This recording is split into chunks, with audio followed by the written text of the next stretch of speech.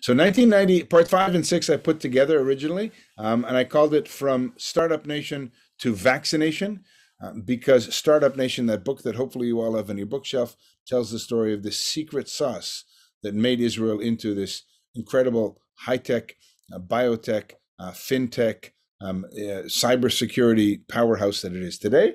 We'll talk a little bit about that this week and next week. And I'll end with uh, vaccination. That's me getting my vaccine in March. I got it late. We started in Israel, we'll see next week in December of 2020, but I had had corona in October of 2020. So they only vaccinated me in March. But that's a little bit more next week. So that's the next two weeks. A lot of politics have happened.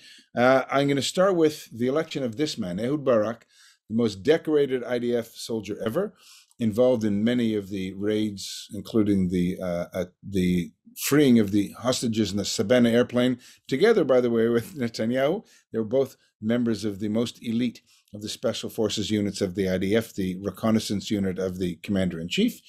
And in 1999, he had been defense minister under Rabin. He then runs and wins the election in uh, direct election, the second time for prime minister. Remember last week I mentioned how Netanyahu eked out a less than 30,000 vote margin over Peres.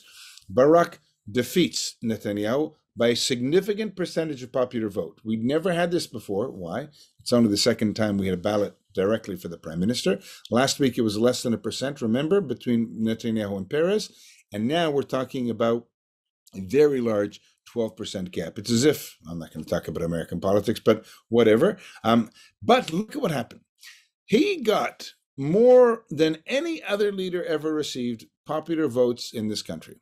But his party had 26 seats in the Knesset. Now, to remind you, the Knesset has 120 seats. Try being prime minister when you I mean it's kind of like being know, a Republican prime uh, president and having a uh, uh, 75 per, uh, 25% minority in the House and in the Senate. Good luck. You're not going to pass any legislation. So he had a government. He had his own party had only 26 of 120 seats, whereas Netanyahu's Likud had 19. He had to form a coalition, which was very wide, and he didn't have a lot of power. Ultimately, I don't mention this in the slides, but ultimately, by two elections later, the two major parties have realized Labor to the left and Likud to the right. This idea of splitting the vote happened with Netanyahu in, in 96, with uh, Barak here, and with Sharon in 2001, allowing Israelis to vote one ballot for a prime minister and another ballot for the party did well and after three attempts. Because what happened was the two largest parties, Labor and Likud, between them used to get about 80 plus or minus of the 120 seats in the Knesset. So if one party, you remember last week I talked about one election where 46 seats were won by Labor and 41 by Likud, that's 87 seats. That means that for you mathematicians, there are another 33 seats from smaller parties. How do you form a coalition? Very difficultly. And we see that in today's government as well. And the challenges we'll see next week of the four elections in two years that we recently had because of the growth of middle and small parties at the expense of the larger parties. So Barak becomes prime minister. His major pledge in the election campaign was to bring home the boys from Lebanon. Um, in fact, there were still about two to three dozen young men soldiers who were being killed in Lebanon in the south with the in the area called the security zone, which we maintain with the SLA, the South Lebanese Army.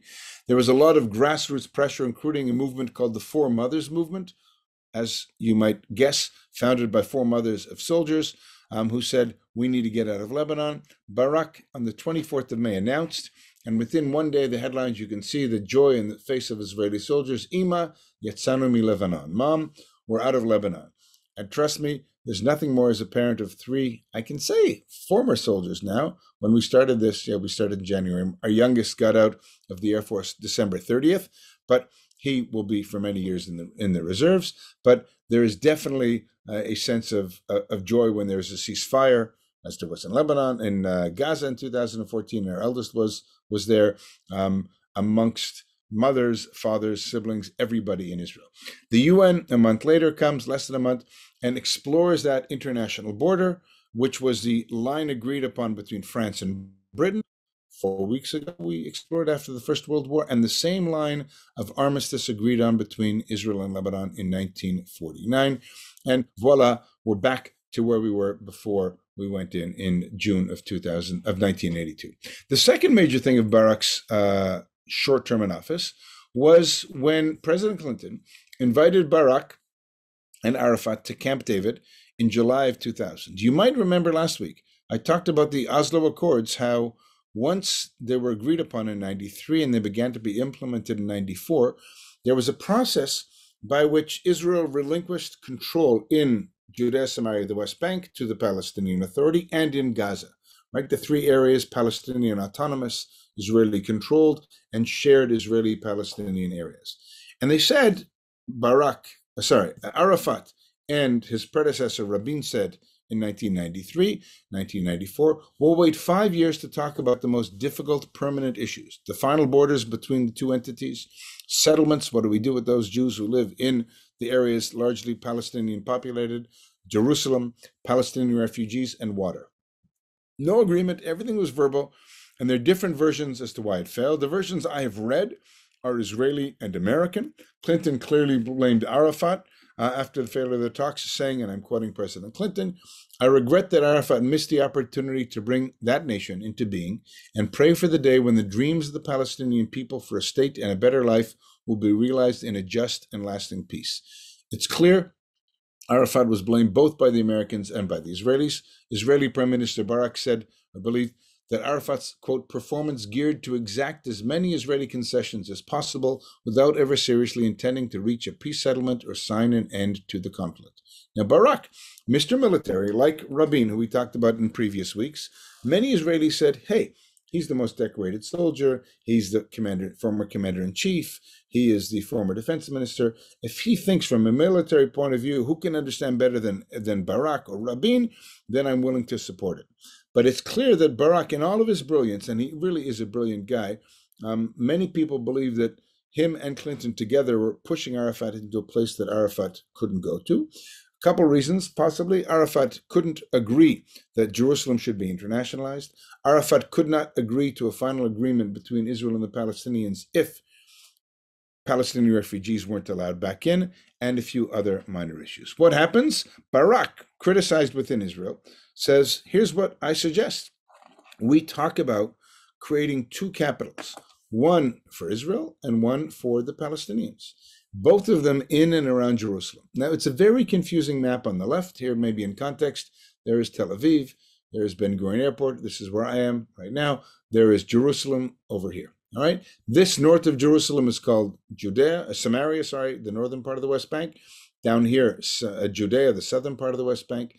The different colors, the pink, Palestinian autonomous zones, the darker yellow here, uh, shared Israeli Palestinian, and the rest of the West Bank, the lighter area, was Israeli. Now, in the middle of this was Jerusalem. And for our purpose on the map on the left, the blue is Jewish and the green is Arab. All right? The Jerusalem municipality as gerrymandered we saw last week after 67 was within this pink line. And without going into all the details and going really deep into, into focus, I want you to understand that this is the main part of Jerusalem. There is the old city. And south of Jerusalem is Bethlehem, Arab town, and north of Jerusalem is Ramallah, Arab town. Ramallah, of course, is the political and economic center of the Palestinian Authority. And now Barak had an idea that said the following listen, the world doesn't recognize Jerusalem as our capital. What I suggest is make everything blue Jewish Jerusalem, and everything green can be the Arab capital. So the Palestinians can have con- contiguity, territorial contiguity from Ramallah in the north via neighborhoods inside and outside of Jerusalem, all these green areas, and connect down to Bethlehem. We, Israel, will have Jerusalem and three settlement enclaves to the east of Jerusalem, Ma'ale Adumim, to the north, Givat Ze'ev, and to the south, the Etzion block. We'll have a much bigger metropolitan Jerusalem than we ever had before. It'll be Jewish. They'll have their capital. And this little thing in the middle, the old city of Jerusalem, will be an international zone open and accessible to everybody.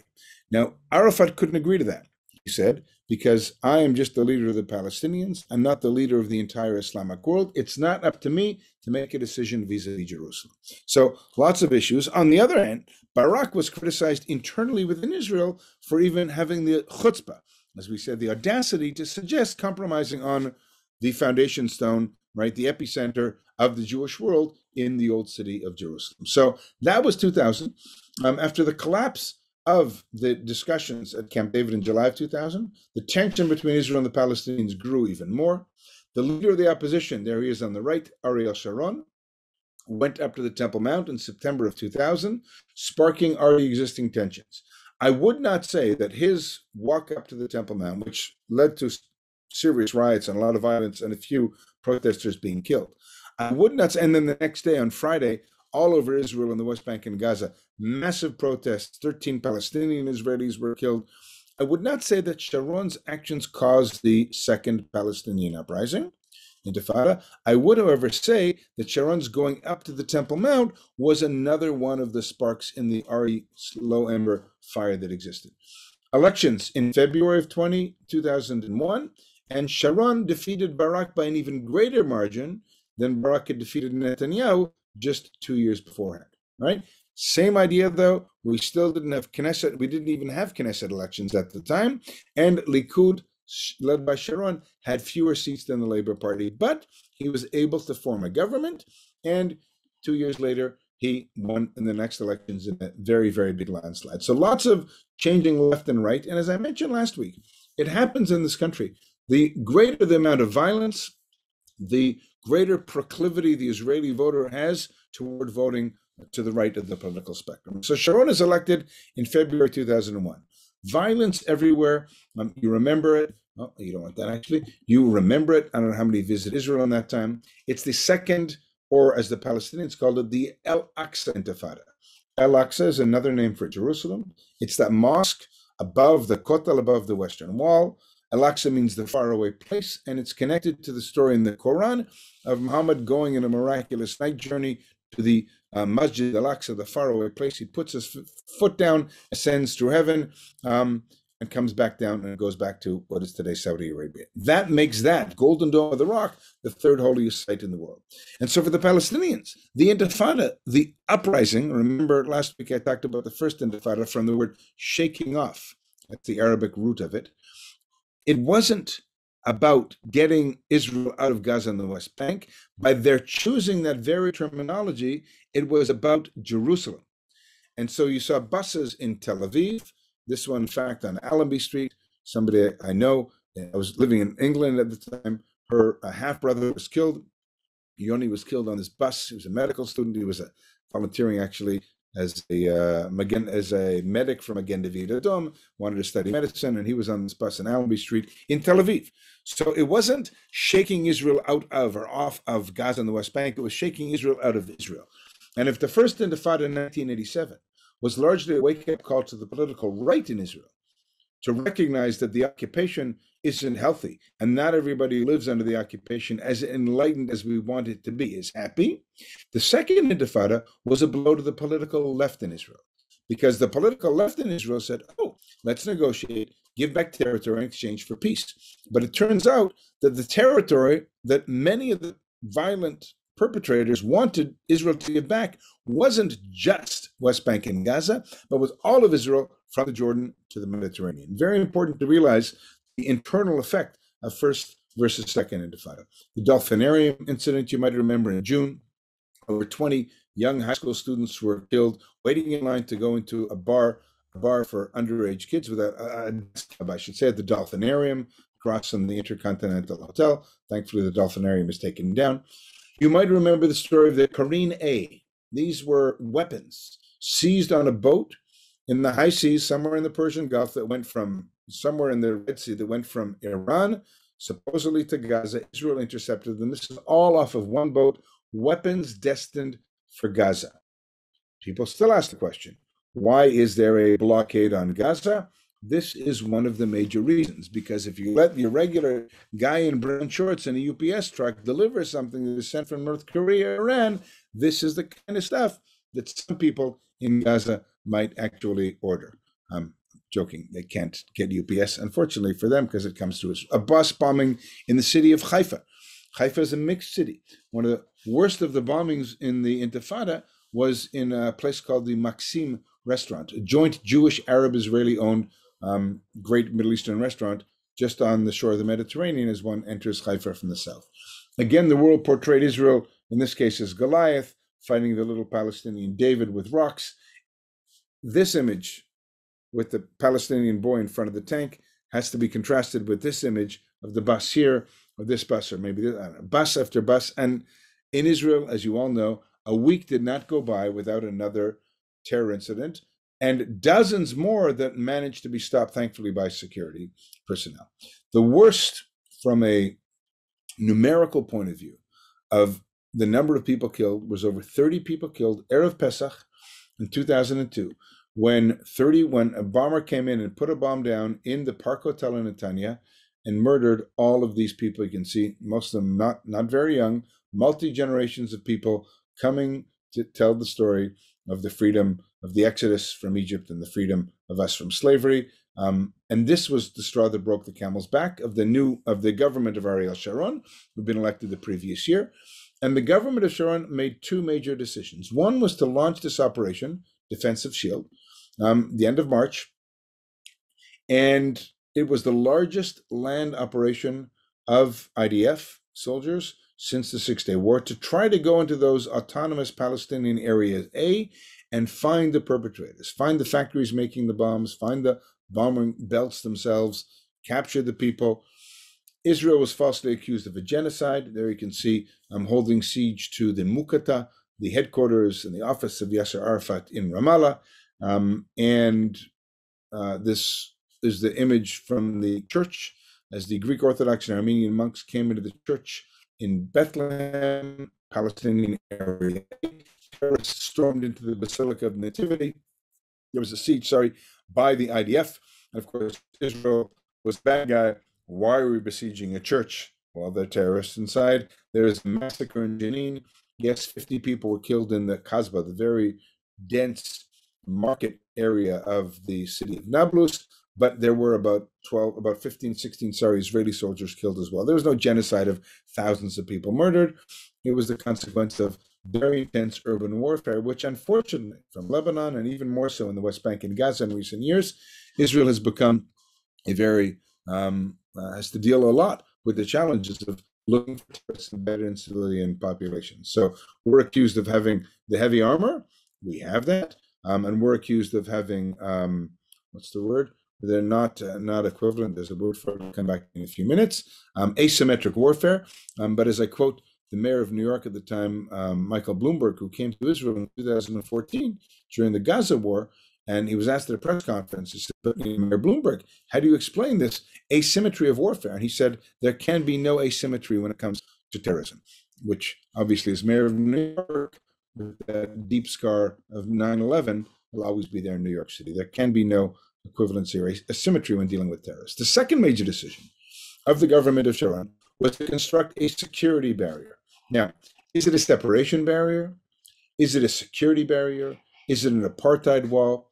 I believe, I actually accept the government terminology. It's a security barrier because its main purpose was to slow down, but not totally stop, the flow of Palestinian terrorists into Israeli civilian areas, where some of them would perpetrate uh, these terror actions. And so the government decided to put up this. See. The government decided to put up this barrier. It's still not complete, by the way.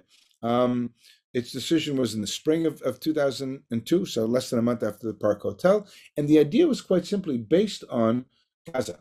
There's a fence around Gaza. Not a single terrorist had been able to leave Gaza, escape Gaza, and perpetrate a terror act in Israel. Yes, tunnels could be dug and are. Yes, rockets can be shot over and do, but nobody getting out. So let's try to put this up. Now, it's not complete. Only about 8% of it is a concrete wall, which you can see here.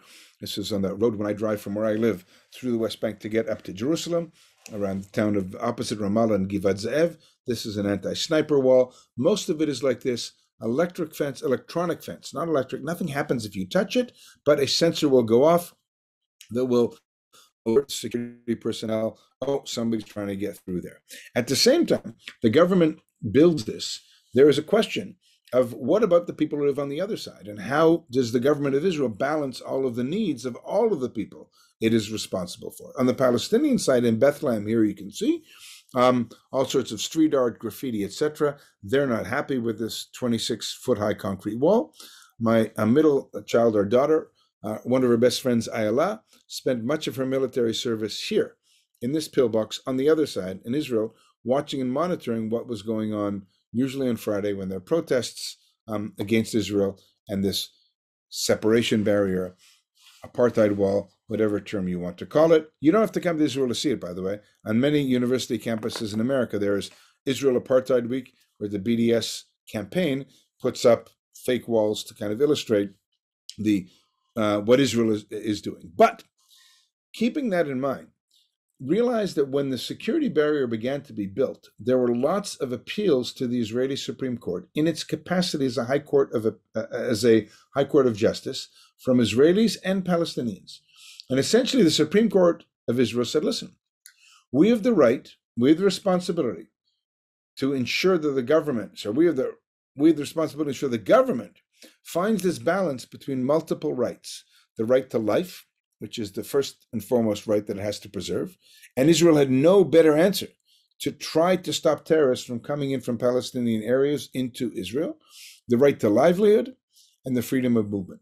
How does a Palestinian who lives from where I sit, a mile and a half, that's the West Bank, to come into Israel every single day, um, maybe to work. Right? My son, as you, I, have said probably once, is a contractor. Um, his employees, all Palestinians from the West Bank, all come through a checkpoint. A guy named Rahed was right in this room today helping. We got a big issue with our water pipe just beyond that door behind me over there. He spent a good four hours in our house today. Comes across five days a week, goes back at the end of the day. How do you facilitate Rahed and and and 140,000 Palestinians coming into Israel every day to work? um, but yet to protect Israelis. So they've got to go through a metal detector, right? I remember when he came and he redid our bathroom a few years ago, and I was at work, and my wife is at home, and one of her, my wife's girlfriends said, "Wait a minute, you were at home with the worker in your house by yourself all day?" And she's like, "Yeah, I was." And much of the construction in Israel, by the way, is done by Palestinians. So how do you allow that to happen and protect us against the bad people, not the good people who are out to make a living um, and help in the construction industry. And so the court, under the leadership of the former president Aharon Barak, said the following Our task is difficult. We're members of Israeli society. Although we're sometimes in an ivory tower, that tower is in the heart of Jerusalem, which is not infrequently hit by ruthless terror. There are few places in the world where high courts have to sit, and sometimes in their sessions they can hear a bus blowing up literally hundreds of yards away from their window. Regarding the state's struggle against the terror that rises up against it, we are convinced that at the end of the day, a struggle according to the law will strengthen her power and her spirit. There is no security without law. Satisfying the provisions of the law is an aspect of national security. And as such, a number of times the court ruled and forced the government of Israel to alter the route of the barrier to ensure the negative impact, and there wouldn't be excessive negative impact on Palestinian society, or if there would be, it would be proportional. Um, and I remember again, my eldest son um, when he was in the military, he was actually, there was a month and a half where they were based right here next to us at Modi'in at the checkpoint where now his employees come through every day. And um, at one point, we, uh, it was Friday and we said, come home for dinner. And he said, I can't, I got to be here. I said, but you can bring me some, don't worry about dinner, bring dessert. So um, he said, but don't come before you call. So we're about to leave and he calls us, don't come. An hour and a half later, you can come now. What happened? they were sitting in the in the war room and one of the young soldiers saw somewhere along the wall not too far from where they were not this section this is by jerusalem um, there was a fence there and there was a young a couple young kids who were trying to get over the fence now were they trying to get into israel to work the next day were they uh, trying to perpetrate a terror act were they trying to measure the amount of time it took for the idf to get you know for the armored vehicle to get there and to see what was happening you know, were they scouting for the who really knows? But every single day along 720 kilometers of the security barrier, this is happening. Um, constant monitoring, again, to ensure the flow of 140,000 Palestinians into Israel every single day and Israelis who live on the other side of the barrier to come into Israel as well. So it's a complicated reality, lots of challenges, but response number two of the Sharon government. Sharon's government, though, um, Sharon was is perhaps the most vilified of all former Israeli prime ministers internationally. The Butcher of Beirut is one of his nicknames, apropos what I talked about last week in the war when he was defense minister in Lebanon in 82.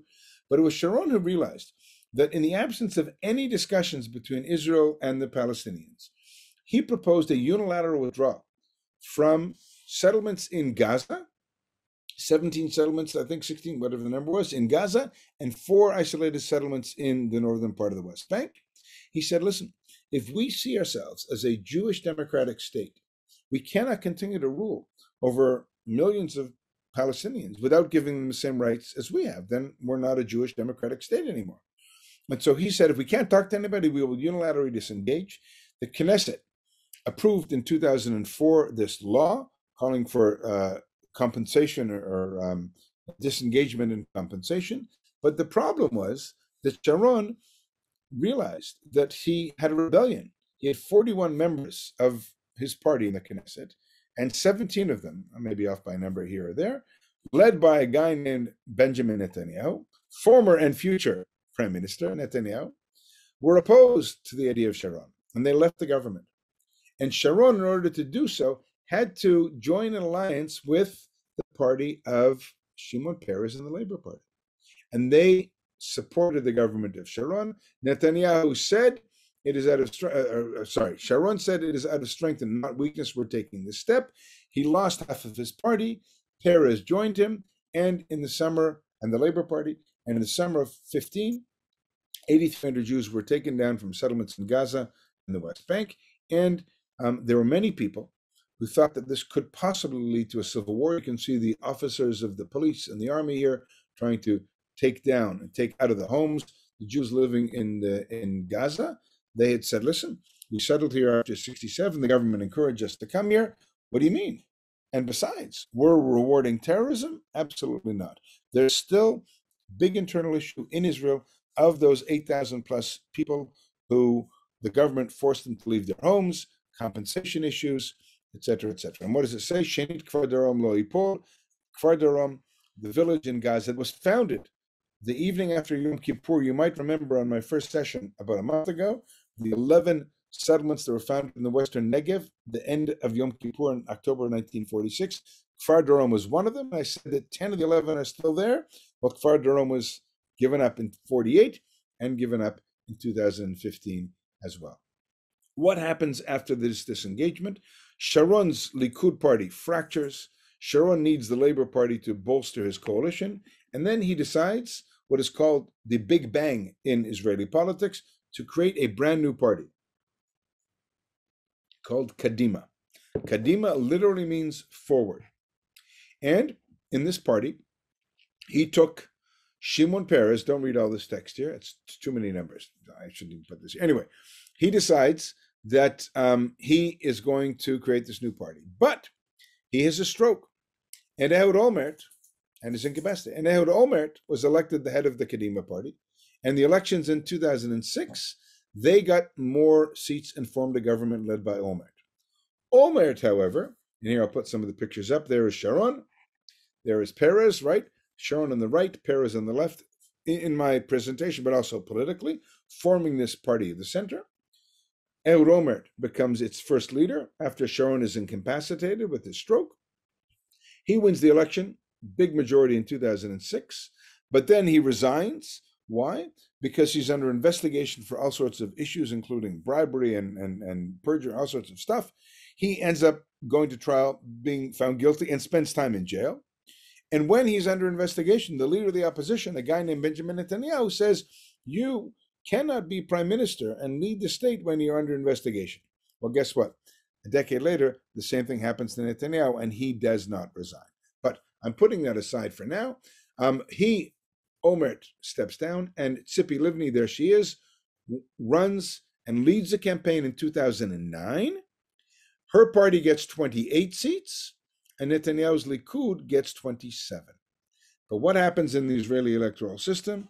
It's not whatever party gets the most seats, it's whatever party is most likely to form a coalition of at least 61 members. And she was not able to. Netanyahu was able to. And so Netanyahu became prime minister in 2009 and ultimately continued until just last year. And Livni's party went down to six seats in 2013 and has disappeared. Like many parties of the political center in Israel, they come, they last for a few elections, maybe even have significant power, but then they fizzle out. What happens in 2006 7? While Israel is grappling with what to do with Gaza, there are elections. I mean, we leave Gaza in 2000, we decide in four and we leave in a five. And then there are elections in January of 2006 in the West Bank over here and Gaza. This is Israel in between. And what happens in this election was that Hamas, remember last week, the terror organization founded by the Muslim Brotherhood, based in whose main goal is the liquidation of Israel and the creation of an Islamic state between the Mediterranean and the Jordan. They get 44.5% of the vote, and Fatah, the PLO, the main branch of the PLO, get a little over 40%, and they win the elections. Right? Complicated. But what happens? This is a 10 years after the elections in, in 1980, sorry, 1996. It took a decade for new elections because the disagreement between the two major political parties, Fatah and Hamas.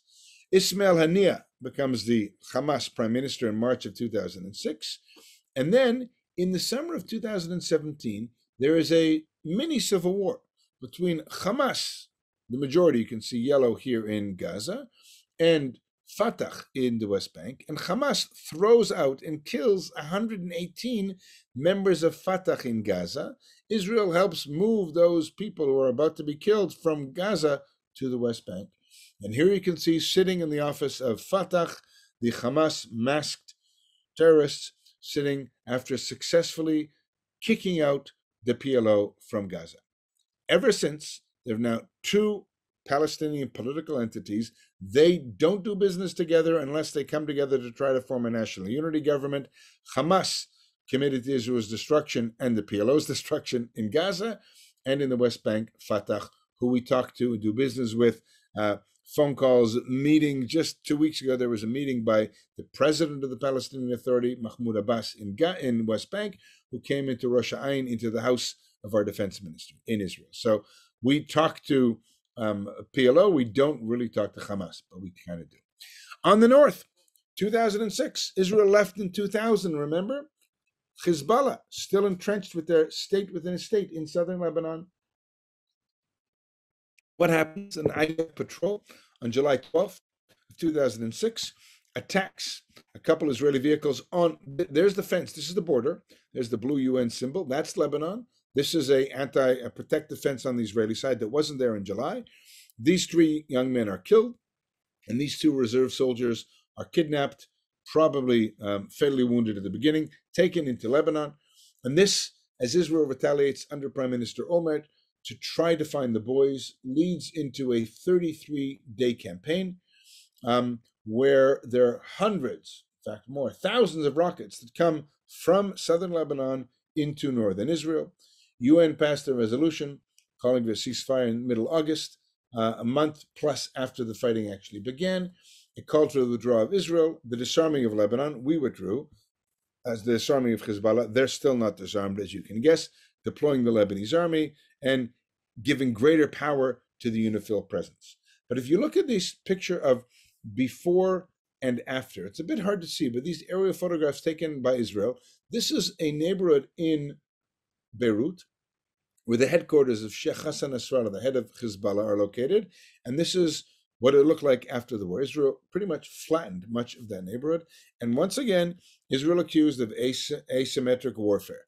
So what is the what is the what is the question here? The question is, well, terrorists are shooting rockets intentionally at civilian targets in Israel, and we have F-15s and F-16s and sophisticated weapons and rockets and missile boats and everything else, and we are targeting what? Civilian areas. Why? Because that's where they place the leadership and all of their supplies of the terror organization. When Nasrallah, as I mentioned last week, came out of his bunker, he said, I read the quote over here, uh, if there was even a 1% chance that the capturing of the soldiers would have led to a war like the one that happened, would I have done it? I would say no, absolutely not, for humanitarian, moral, social, security, etc. reasons a mensch, a real mensch. Now, if you're somebody in Lebanon, you say to yourself, who are these guys? Yeah, they're 40% of the population, the Shiites, but seriously?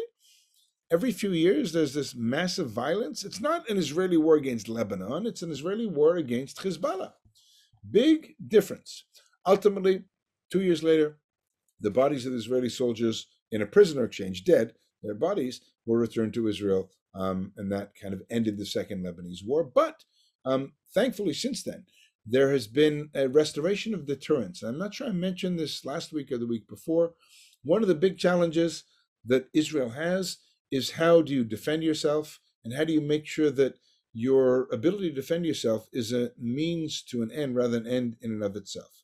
How does power not become excessive? And it's a big problem that Israel faces, particularly when you've got Hamas down over here and Hezbollah over there.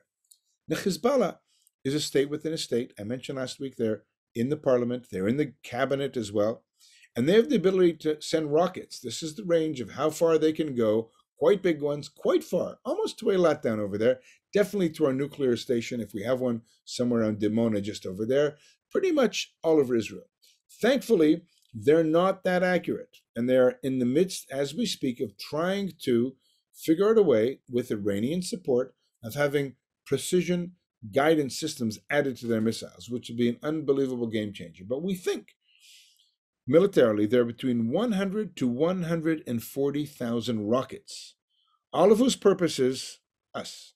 There is no place in the world where a terror organization, not a government, I mean, you can say North Korea to South Korea, whatever, America, Russia, Ukraine, but I'm not talking about that this week. That's next week, maybe. But there's nothing like this anywhere in the world. A terror organization whose fundamental principle is to get rid of us with rockets aimed all over the country at us. And once again, as you saw last week, the breakdown again, don't look at the fine resolution, look at the different colors to see the ethnic divisions. The purple, most importantly, are the Shia up in the Baalbek Valley over here, lots of heavy poppy and opium. Um, uh, uh, there's a big piece in the New York Times, I think a month or two ago, about the drug business in Lebanon and Syria, largely Hezbollah operated. And there is the large presence of Hezbollah and the Shia population very close to the border with Israel. Um, examples from that war of from a, a, great think tank that I spent a lot of time with groups when we go up to the border of Lebanon called Alma in the Upper Galilee. Here you can see these are areas where, uh, from the IDF, you can see there's the school, there's the mosque, there's cemetery, and all of these blue and red are places of weapons. Uh, uh, rockets were launched from uh, munitions deposits, etc., etc. So, a terror organization, in contrast to an army where their bases and their lines and everything else are fundamentally based inside of civilian populations, and ultimately, and whenever there's an operation slash war that Israel is involved in, we're always accused of this asymmetric warfare. Um, it's not fair. They're in civilian populations. It's their choice that they don't wear uniforms. It's their choice that they put themselves in civilian populations. A little bit farther afield, but also adjacent to us, is Syria. And there was an operation we opened last week, I think in 1981, if I'm not mistaken, with Operation Opera. You remember? remember? Israel destroying the nuclear reactor in Sirak, 10 miles south of uh, Baghdad. In on September, I remember where I was. I remember when it happened. Operation Outside of the Box. Syria was with the help of North Korea good old Kim Jong Il. I know you're Chicago people. I know you you remember Dennis Rodman, but I don't know if you realize that Dennis Rodman is a good friend of the crazy guy Kim Jong Il of North Korea over there. But the North Koreans, like the Iranians, but less capable, love destabilizing the world, and they were supporting the Syrian attempt to try to create a nuclear reactor. Israel sent Air Force planes a lot shorter distance than we had to to Iraq in 1981. This was the building before, this was the building, this is American government satellite images of it afterwards. Israel didn't say anything about it, but it seems to have been coordinated with the states and with the uh, Turkish president. And just a couple years ago, it came out publicly that Israel admitted that it had undertaken that operation. Um, I don't know if you've seen this TV series Tehran, season one. I think season two is about to come up, but very similar story with potential uh, situation in Iran. F-15s, F-16s as well. Um, as I said, it took 12 years till Israel admitted it. And like we saw last week, the pilots are putting on their airplanes this little you know, kill symbol if they were involved in the destruction of the Syrian reactor. So twice so far, Israel has destroyed uh, neighboring attempts to create uh, to create a game changer and have a nuclear reactor, with the purpose, obviously, of making bombs that would be targeted to us. The first Gaza operation, and we'll see, uh, unfortunately, a handful of these this week and next week, takes place Hanukkah time, therefore it's called Cast Lead, end of 2008, early 2019.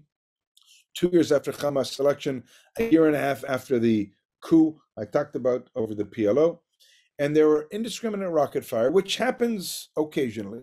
And there's always the question of at what point does the Israeli government make the decision to respond to this rocket fire that's coming in? What's the cause? It could be some issue that is, it could be Gaza, uh, it could be what happened in Jerusalem in May of last year. We'll talk about that next week. And Israel decides to launch an attack against Hamas sites December 27th. Um, and for the first time, rockets from Gaza went further, went more than eight kilometers, five miles, but went 25 miles, 40 kilometers outside, and hit major population centers like Beersheba and Ashdod. Major, major change. Israel declared a unilateral ceasefire, brokered by Egypt at the time, and the UN Goldwater, uh, Goldstone report, not Goldwater, accused Israel of the Palestinians of war crime. This was not in this one. This came out at about the same time. Oh, I can put that in there. But look at the rockets. This is in the basement of a house. These are not very sophisticated. You can see this is a workshop. Some guy with a couple tools takes a uh, takes a light pole from outside. Very easily manufacturing these. But the more sophisticated rockets you can see now. There's Gaza. To remind you, it's 40 kilometers long, 25 miles. It's about eight miles wide at its widest and about five miles wide for most of it. Today, about two, 2.1 million Palestinians in Gaza. And the range now to these cities there's Beersheba, there's the city of Ashdod, Ashkelon close by, populations. All of a sudden, you've got about 2 million people who are within, no, what am I saying? About a million and a quarter million and a half people who are within rocket range of Gaza Strip. Um, for the first time. Um, big, big change. There are elections in Israel. Now, guess what happens? When there are elections in Israel and there's a lot of rockets and a lot of violence going on, people shift to the right. Olmert, as I said, was no longer the leader. Tzipi Livni takes over. Olmert said he was proud to be a citizen of a country in which the prime minister can be investigated. Livni runs in the election, loses the election, and it is Netanyahu who gets 27 seats in the election. Again, 27 seats to put it in context. If you got 30 seats, you'd be getting 25% of the popular vote. In other words, 23 or whatever percent of Israelis voted for the Likud party. But he formed a coalition ultimately, um, and he has a broad coalition of 74 seats, only 27 of which are of his own. And he said the following in his early speech The greatest danger of Israel and to mankind will come from a radical regime that will try to arm itself with nuclear weapons. Israel is facing two immense challenges on the economic and security fronts. Our decisions and actions will determine whether we are able to weather the storm. And Netanyahu's leadership from 2009 until 2020, 21, was largely seen through the prism in foreign affairs of dealing with ensuring that Iran will stop um, its program, its march toward becoming a nuclear power shortly after this operation, there is a flotilla that sets forth from Istanbul um, in May of 2010, sponsored by Turkish Islamist organization and supported by the president of Turkey, Mr. Erdogan, who is still the president of Turkey. And the aim is to take boats and to run through the Israeli blockade. Israel had a blockade because we are worried about the weapons that you saw 40 minutes ago from the Karine A that Israel captured in 2002 there's a blockade. We limit can go into uh, into the Gaza Strip, and so every one of the boats except one, there it is, sorry, the Mavi Marmara, decides to surrender to Israel whatever humanitarian aid they have. They are going to um, allow Israel to take off, go through the port of Ashdod, and deliver it to Gaza as long as it's not something that Israel thinks could be used to make a bomb. Naval flotilla uh, Shayetet Shlosh one of the most elite forces in the Israel Defense Forces, as they descend from their helicopters, you can see over here in their ropes, they're beaten by clubs and knives, um, and many of them were injured. Ultimately, 10 and 9 at the beginning, and then another one died of the Turkish and, and, and other people on the boat were killed in this violent melee that took place. It led to a serious rupture in Turkish Israeli relations. Ambassadors were recalled, and then Netanyahu just recently actually apologized to Erdogan a few years ago um, and agreed to financial compensation for the families those killed on the boat. And Israel and Turkey restored their ambassadors just a few years ago.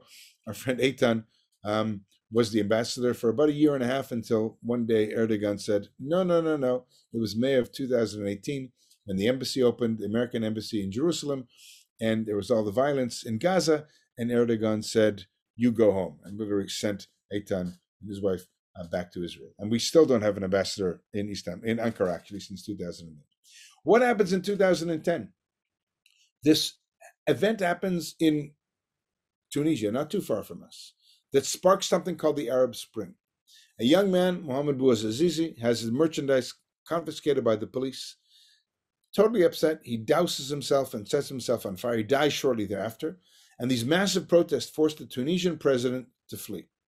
Um, ultimately, the leaders in Cairo um, had to step down again. It spread to Tripoli in Libya. It spread to Sana'a in Yemen. It spread to Damascus and other places across the Middle East where the very foundation of the Middle East as we know it today outside of Israel was very much uh, and continues more than a decade later to be shaken. Massive, massive collective rage, rest of youth angered by the status quo. And I have a short little video um, which I'll put on, of the origin of the Arab 2010, a produce vendor in Tunisia stood in front of a government office and set himself on fire, killing himself. His desperate actions helped spark a revolutionary uprising that has come to be known as the Arab Spring. The Arab Spring timeline began in Tunisia, a country that had been under the allegedly corrupt and authoritarian rule of President Zain al Abidine Ben Ali for more than two decades.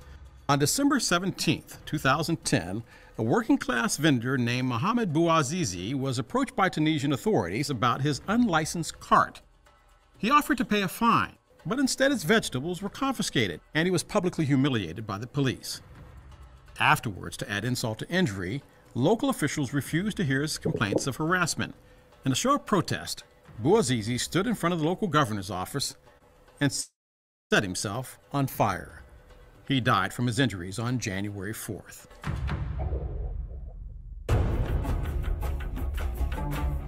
Bouazizi became a martyr who inspired others who were suffering from unemployment at the hands of a corrupt government.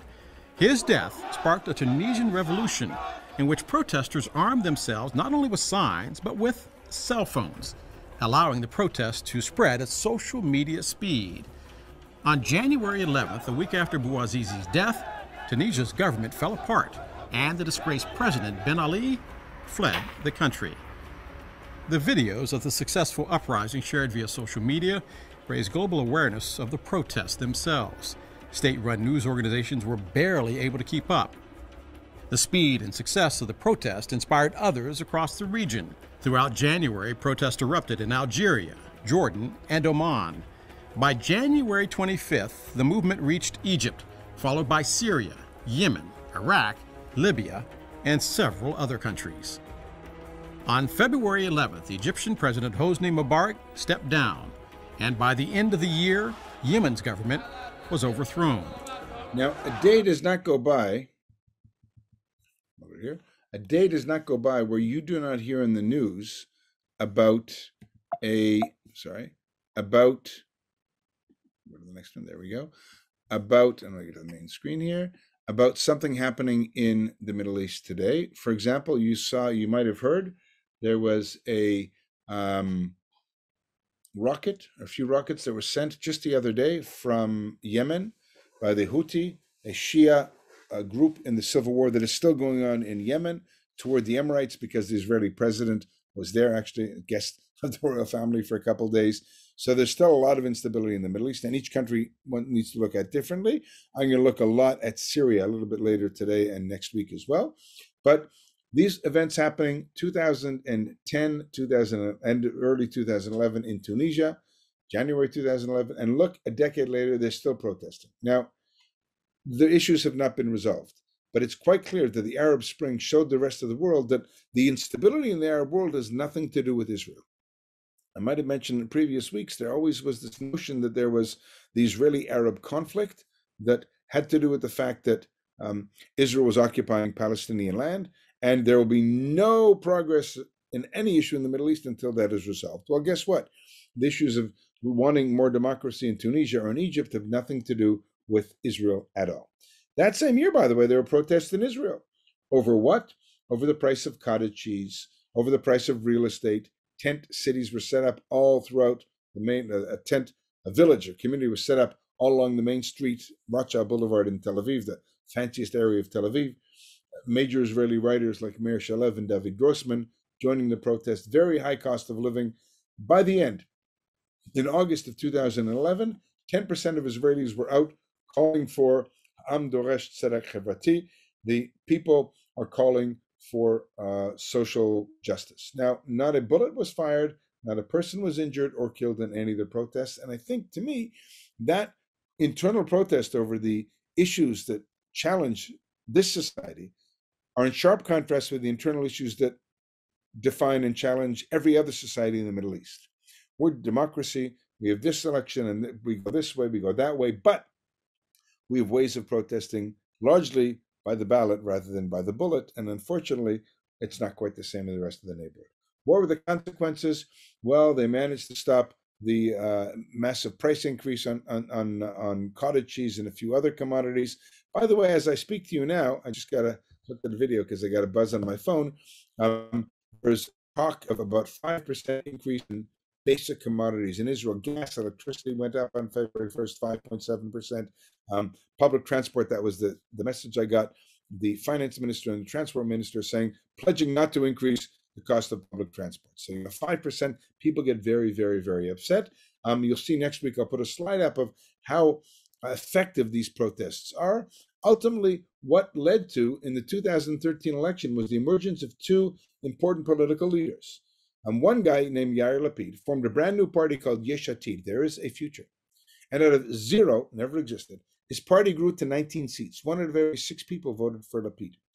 At the same time, another guy named Naftali Bennett led a party called the Jewish Home and got 12 seats.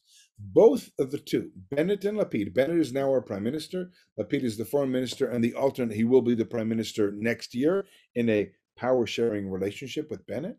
These two guys had 31 seats and they sat in the government of Netanyahu in order to push forward the agenda of social justice, lowering the cost of uh, uh, cost of living. They weren't 100% successful, but they pretty much came out of the scene in that election of 2013. At the same time, Israel is leaping and jumping in the startup nation. Shimon Peres, prime minister, way back when at the Davos conference, uh, spoke to Shai Agassi, a uh, young Israeli successful one of the principals at SAP Software in Germany at the time, says, What can you, Shai, and your generation do to make the world a better place? Because, as Peres said, our greatest gift is dissatisfaction. So Agassi had this crazy idea of building a battery operated electric car. Go figure, huh? Where is he and where is Elon Musk today? Well, unfortunately, the 800 plus million dollars in venture capital that was raised, um, cars were being manufactured by Renault and uh, uh, the other company, and Nissan, I think. And the idea was to have a battery that would charge or a battery that would change. The company went bankrupt, but it helped push forward, I think, a lot of more understanding and hope to what eventually led to the success, I believe, of Tesla. 2011, and really was that startup uh, was really one of the, you know, the, um, I remember coming with the prime minister's mission actually from Chicago to visit uh, the Better Place driving area to meet Shai Agassi himself back in, I don't know, 10 or 11 or whenever it was, really the poster child of Israel's startup nation. 2011, there is a prisoner exchange. Gilad Shalit in the middle, the young Israeli private, flanked by Prime Minister Netanyahu at the time, Defense Minister Barak, and Commander in Chief Benny Gantz. Today he's Defense Minister, today leader of the opposition, today quasi retired. There's an exchange for this young man, Gilad Shalit, kidnapped in June of 2006 sitting in his tank on the Israeli side. Hamas had dug a tunnel under the border in the sand, kidnapped him, five and a half years, no contact with the Red Cross, no humanitarian connection with his family directly.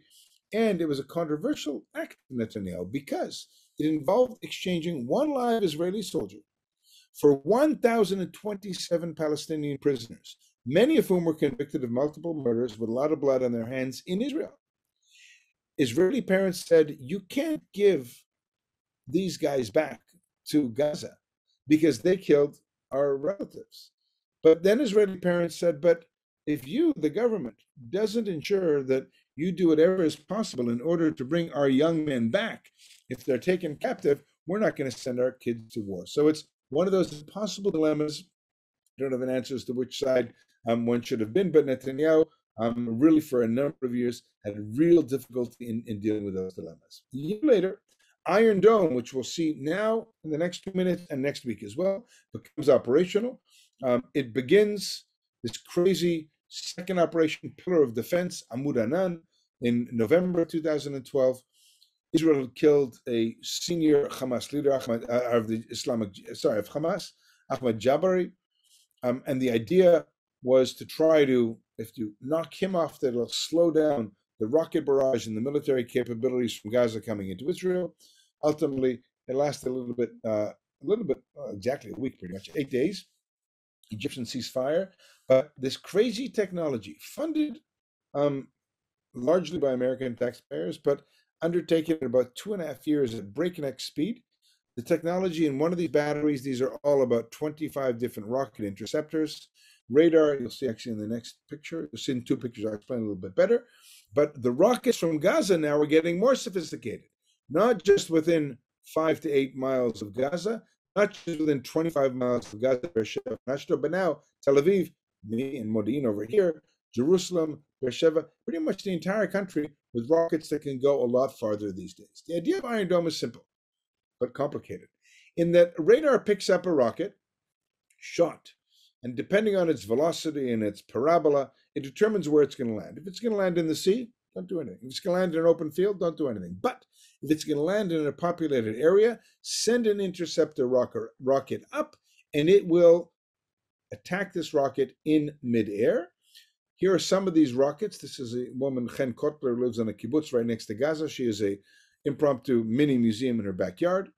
This, on the other hand, is the head of a uh, of an Iron Dome. This was a guy running for Congress in 2016. I want to say he didn't make it, but the rocket uh, did its job and it destroyed an Iron Dome. Uh, it destroyed a rocket coming in from Gaza. Here's another image, right, of the protection of the radar and shooting the rockets. And they're not in the same place, by the way. The radar within seconds detects the rocket. And if you live within five miles of Gaza, it can be 15 to 30 seconds before the rocket gets to you from the time you actually hear a siren. So it's amazing how fast this actually works. Again, in terms of distance, I took this picture from my phone on a hill in the town of Sderot, looking toward Gaza. Blue is uh, that where the antenna is is the border fence. That is Gaza in the background. All the red arrows I put in here, these are all the Gaza Strip. Here is another one of those little rockets that are coming from Gaza. And again, the challenge investing billions of dollars and hundreds of millions of dollars all the time to keep up the supply of these rockets in order to take one of those things, those Iron Dome rockets, and essentially it's like taking a, I don't know, shooting a Coke bottle out of the air. The truth is, it doesn't actually hit the the rocket coming in. It detonates very close to that rocket. You'll see next week some pictures from the latest campaign of this crazy route that the Iron Dome interceptor takes to try to stop the rocket before it actually lands. Of course, when it explodes, there's shrapnel from the Iron Dome interceptor and the rocket coming from Gaza. Whether it's a simple homemade little thing like this or a much more sophisticated rocket that can make its way all the way to Jerusalem. But more of that next week in the Iron Dome. I wanted to bring it here to show you this is the first time that it became operational, only in November of 2012. Oh, ah, and one other thing. Yesterday in the news, there's a security conference happening in uh, in Tel Aviv, and our prime minister announced there's been a lot of talk about this that very soon Israel will go to the next stage and develop a laser interceptor. So lasers will be able to intercept rockets. And another item was that, and it came up after the uh, discussion after the rockets were shot to the Emirates when our president was there from Yemen, was that Israel is considering Yemen is considering purchasing from Israel the Iron Dome technology to protect itself from the crazy Houthis down in Yemen. Yemen. Crazy neighborhood, huh? Wow. Mike, thank you. um, the I, I know we're sort of over time. So I think what I'm going to say is I mean, there's no problem with that, but just if you have a question, maybe email it to me. I'll get it to Mike and then we can regroup on that next week. I just want to honor the lunch hour that this uh, class is for us. We were supposed to be eating lunch. No, no, we're supposed to be consuming what you have to teach. So, um, for everyone being here, thank you so much. Uh, for those who are here in uh, those here in Chicago, stay safe. Uh, it is um, snowy and the roads are treacherous. There is at least one person here in Cabo San Lucas, so you enjoy. I won't out you. And um, I think he, he outed himself, Rabbi. Did he out himself? Okay. And for everyone else, wherever you are, be well. Uh, and we'll see you next week for our 6th mm-hmm. and final session. Um, thanks, everybody. Mike, thank you so much. My pleasure. We'll see y'all next week. Stay safe.